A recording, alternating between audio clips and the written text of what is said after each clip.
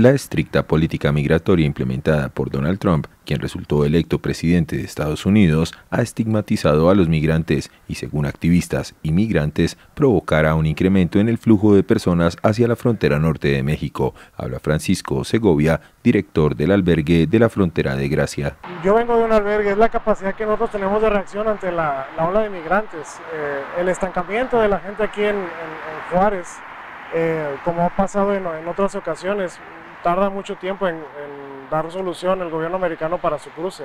Eso principalmente es lo que nos preocupa. Y obviamente la, oleada de migrantes, que crezca el,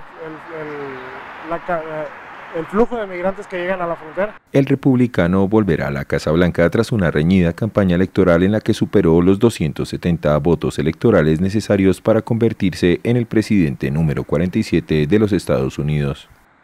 Entre los migrantes, Trump se percibe como una figura que representa políticas migratorias estrictas y un futuro incierto para quienes buscan cruzar la frontera aunque el Departamento de Seguridad Nacional de Estados Unidos ha dicho que las leyes de inmigración del país permanecen estrictas y que no habrá ningún cambio en ellas, luego de las elecciones estadounidenses, el 6 de noviembre se observaron migrantes cruzando por los puentes internacionales con temor de que con la llegada de Donald Trump los regresaran, aún teniendo su cita CPV-1.